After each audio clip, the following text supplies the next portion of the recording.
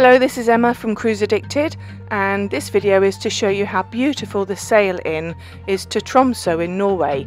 We took this voyage to the land of the midnight sun in July 2023 and we were really blessed with some of the best weather we could have posit positively wished for. Um, so this is our arrival into Tromso. It was spectacular. Mill pond conditions, blue skies, absolutely breathtaking.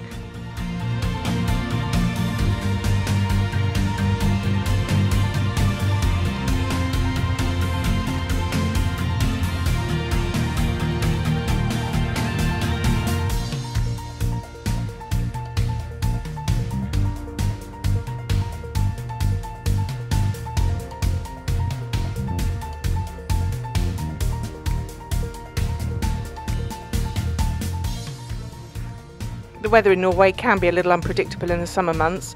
Um, you can never know whether it's going to be misty or foggy or whether it's going to be hot and sunny. We had packed for more cold and misty days, to be fair, but we were blessed for 14 days with this beautiful sunny skies, blue skies, and uh, calm conditions. And as you can see, the sail into Tromso was virtually mill pond conditions, really beautiful.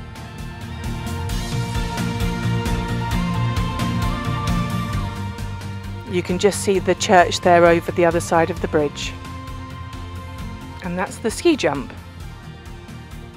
So because we're coming back to Tromso uh, on our Northern Lights cruise next March, um, we decided to venture further afield and we booked a tour to Grotfjord um, from Tromso. So we actually boarded an eight-seater minibus and we were with a company called Northern Light Tours for an Arctic drive and picnic. We booked the tour through Viator, which you can find the link on our website www.cruiseaddicted.com. So Grotfjord is 20 miles away from Tromso, so it didn't take that long to get there by minibus. And we had a great guide and he took us foraging to start with for cloudberries, is little orange fruit that grow singularly in the grass, so you have to be careful where you walk and um, they taste delicious.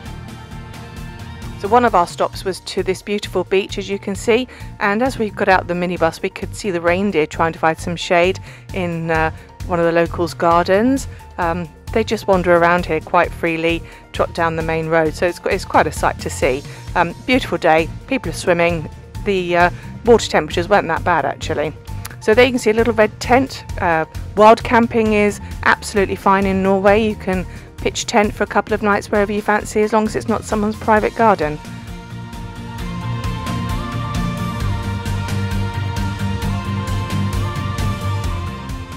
So this is where we've stopped for lunch on, on this beautiful golden sand beach within the fjord of Grotfjord.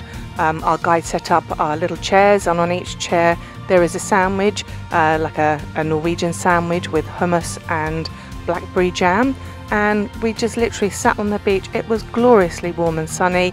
We all had a paddle, um, hot coffee, and uh, had some fun taking some photographs. But look at the view, it was the most beautiful place to stop for a picnic. And there we have some more wild reindeer just wandering around, um, having something to eat. So if you're a keen photographer, I can highly recommend this tour. The scenery, the colours, the mill pond reflections, it had it all. It was just absolutely brilliant.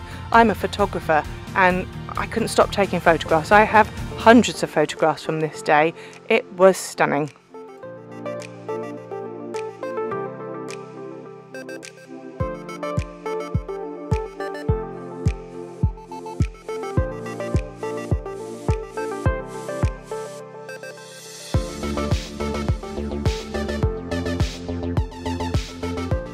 We were looking for trolls. There's trolls everywhere in Norway. You have to look into the stone, into the cliffs, and you'll find a troll.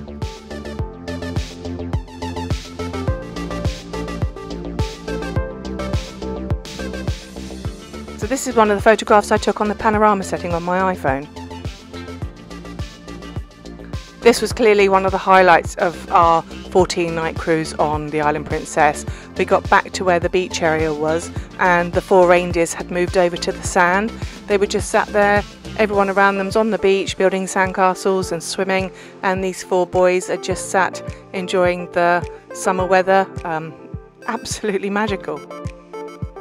I just like to stress we were with our guide the entire time and at a safe distance from the animals. We didn't get close to them, we didn't touch them or go too near to them.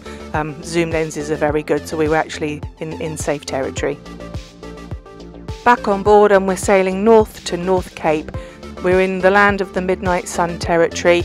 We've just gone beyond the main summer months. This is at the end of July. So sunset was about quarter to midnight and sunrise was about half past midnight. But this is midnight.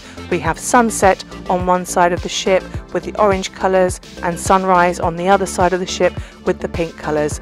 Absolutely magical. We really enjoyed this cruise. So this has been Emma from Cruise Addicted sailing to the land of the midnight sun. Thank you for joining me. We'd be ever so grateful if you would like, share and subscribe to our YouTube channel. Uh, bye for now.